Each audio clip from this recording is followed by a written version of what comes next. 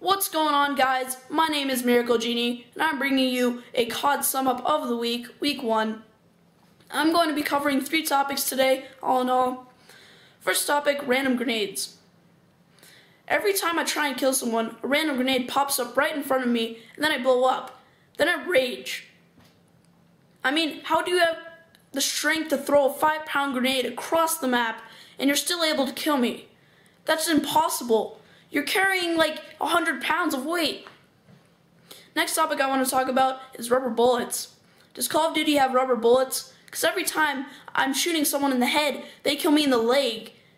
I don't even get it. They shoot me in the leg, and I'm shooting them in the head. They should die in one bullet.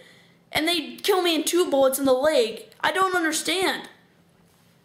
Next topic I want to talk about is Lightweight Pro.